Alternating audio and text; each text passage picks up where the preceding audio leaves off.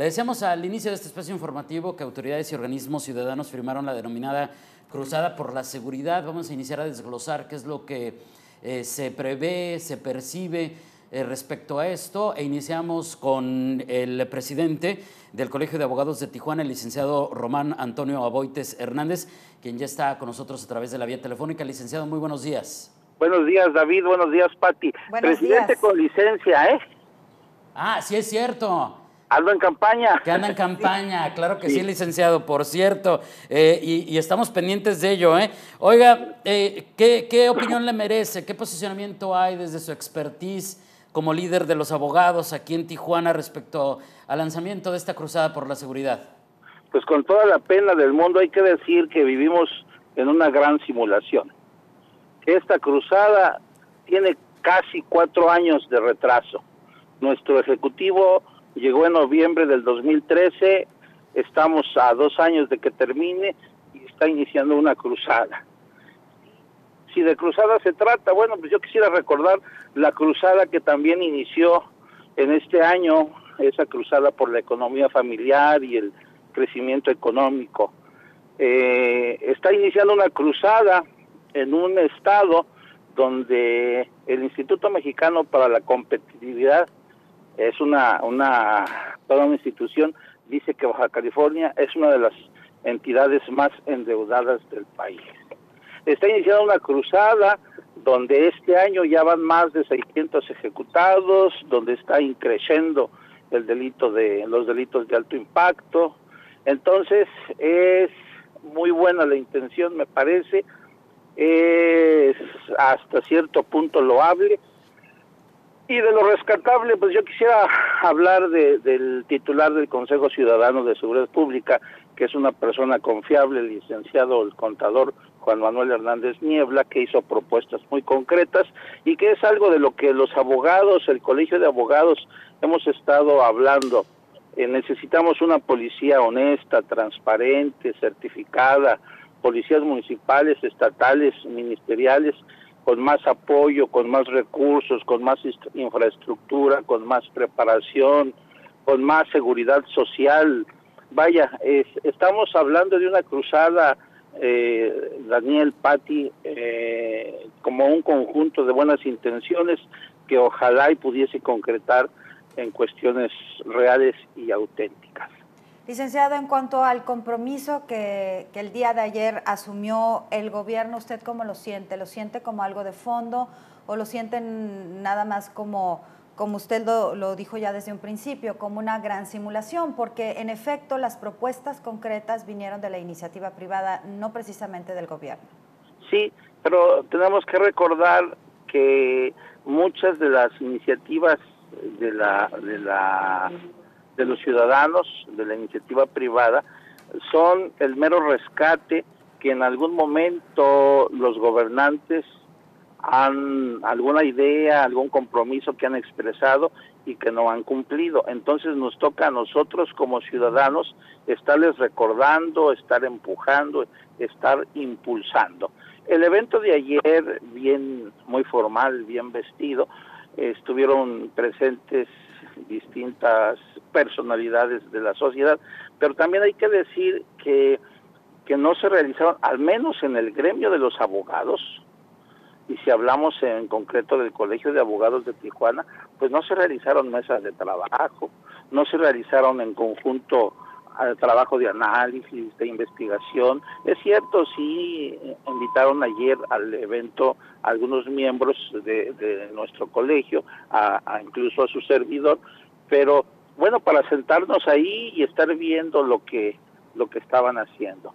Entonces, aquí hay que mencionar algo, Patti. Dice el gobernador que se viven tiempos difíciles, que se enfrentan retos complejos, que hay una gran marginación social, una desintegración familiar, pero la ciudadanía, el Colegio de Abogados, creemos que estos problemas se atacan con acciones de fondo, como es, por ejemplo, impulsar y apoyar la educación, un problema que hoy está latente en nuestro Estado, a los maestros no se les está pagando, no hay infraestructura en las escuelas, hacen falta becas para estudiantes, más becas, hace falta ayudar a las madres trabajadoras que, que necesitan eh, cuidar a sus hijos, guarderías, toda esta problemática social de violencia, de drogadicción, se genera en la pobreza, en la falta de trabajos que, que, cumplan un ingreso para satisfacer necesidades, o sea, salarios dignos.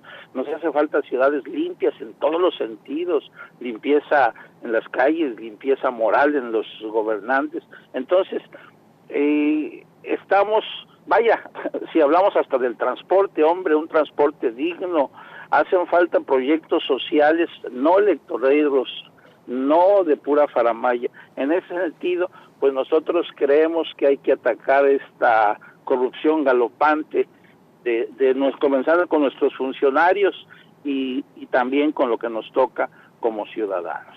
Claro, incluso ayer decían, eh, pues un poco recuperando lo que nos está diciendo en este momento, licenciado Boites, que, que falta todavía una buena política pública en contra de las adicciones, entre otros muchos temas que, como bien ya dijo, eh, van de la mano del tema de la inseguridad. Gracias por el posicionamiento, licenciado. Antes de despedirnos y, de agradecerle su, participación como siempre, no podemos dejarlo ir sin que nos eh, dé su opinión de un tema que ayer eh, comenzó a provocar indignación en la ciudadanía, pero sobre todo dudas. Y me refiero a que se oficializa que a través de la denominada, em, del denominado Comité de Información, del vigésimo segundo ayuntamiento de Tijuana, que encabeza la síndico procuradora, Ana Marcela Guzmán Valverde, deciden reservar por seis meses los datos relativos al contrato de casi 90 millones de pesos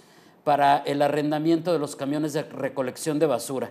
Es decir, se va a secrecía durante seis meses, dicen ellos que para investigar cómo se debe.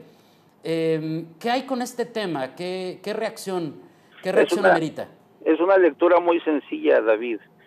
Eh, es una acción inmediata para pretender ocultar toda esa serie de, eventos que se realizaron, que han sido muy cuestionados por la sociedad, por los ciudadanos, que no han sido transparentes. Aquí deberían de hacer exactamente lo contrario.